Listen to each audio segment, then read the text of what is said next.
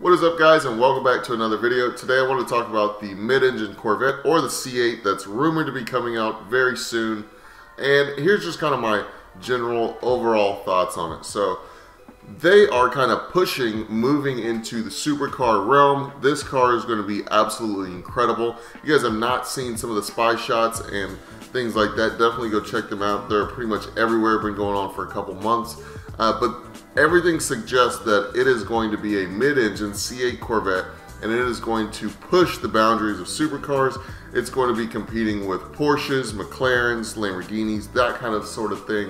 And it's going to be a very, very high performance car. Uh, it's been seen spotted with a lot of those vehicles, meaning that the performance is something of those calibers. With that being said, is that a good thing? Uh, in my opinion, I don't really think so, just because yes, the Corvette is a performance sports car, uh, borderline exotic car, uh, American made obviously, but it also represents a certain class of people in price range. So when I think of a Corvette, I think of in that 50 to 70, sometimes 80, depending on how it's optioned out uh, car. With these new C8 Corvette, it's probably going to be up to the 90s and even into the hundred thousands. Um, so it's really going to kind of push the boundaries of where the Corvette price points are right now, which I think is a bad thing. It's kind of pushing into a different territory. However, it's hard to hate on it because this car is going to be absolutely freaking awesome. And just like the Stingray did uh, in 2014, it's definitely going to increase the popularity of the Corvette. Um, you know, Corvette was not dying out, but it wasn't really super popular among younger audiences until the Stingray came out. Stingray came out, everybody absolutely loved it. It was completely different. I will give that some of the uh, more classic Corvette people didn't like it because of things like the tail lights and things like that.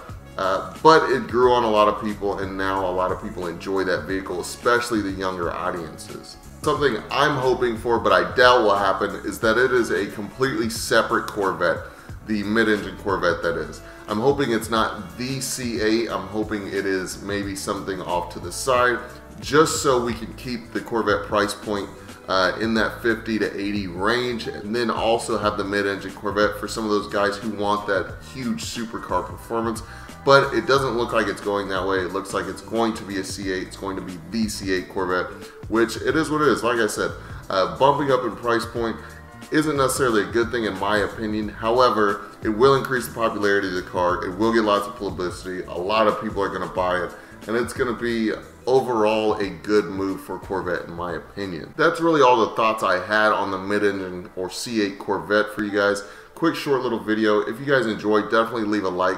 Subscribe if you're new to the channel. We do Corvette mods on my C6 Corvette all the time. Also, hit the bell icon in the bottom right corner. That will notify you guys every time I upload a video.